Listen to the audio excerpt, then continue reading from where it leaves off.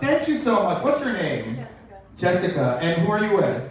my husband, Your husband. How long have you two been together? like 22 years, but. Wait, were you not here when I was doing the like? You did 20 years in prison. So you were dating for two years and then you went to prison for 20? We were together for two, and then he did 20. Okay, and then now you're out, or are you are you just visiting, or what? He's probably just visiting. You're just probably just visiting. Okay, I'm scared. Uh, where am I? I'm an American. I love America. Uh, this one. Um, that was the scariest thing I've ever heard. Probably going back. Okay.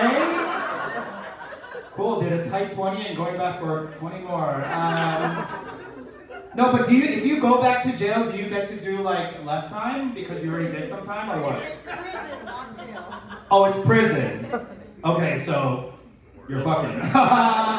Because no one's fucking in jail, right? They're like, Psh, I want a fucking long-term commitment in the showers. Uh, no, I'm just kidding. I shouldn't make fun. I You don't. You only get makeup in prison, not jail. You only get what? Makeup. Sports bras and everything. Yeah. Watch. You wore sports bras and everything? No, but it's That, that was my roommate. That was my cellie. I'm sure that was your roommate. Uh, you know a lot of details. What did your roommate wear? Sports bras, man. Sports bra, sports bras and pa- panties. Okay, well, I guess I have to go to Ross.